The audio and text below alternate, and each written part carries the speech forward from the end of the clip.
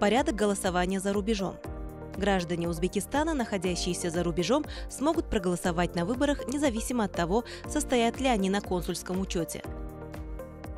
Граждане за рубежом могут подать обращение в участковую избирательную комиссию в электронной форме, а включение их в список избирателей через официальный сайт МИД не менее чем за 15 дней до выборов. Участковые избирательные комиссии, образованные при дипломатических и иных представительствах Республики Узбекистан в иностранных государствах, информируют граждан, находящихся в иностранных государствах, о способе, месте и времени ознакомления со списками избирателей. Голосование за рубежом будет проходить с 8.00 до 20.00 по местному времени на избирательном участке.